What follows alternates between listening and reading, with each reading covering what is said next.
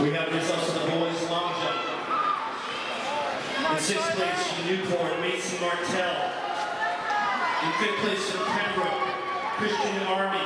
In fourth place from Merrimack Valley, Camden Donovan. In third place from Chris Caputo.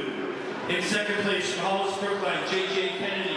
And in first place for the jump of 19 feet, 11 and 1 quarter inches, Joey Diaz. All athletes, the first and final call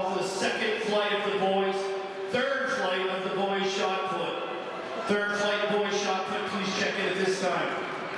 And the boys 1,000 meter run. In sixth place from Trinity, Hunter Cote. In fifth place from Campbell, Tyler Scopolidis. In fourth place from Kent, Chris Desmaris. In third place from Coe-Brown, Gavin Lewis. In second place from Coe-Brown, Dawson Dubois.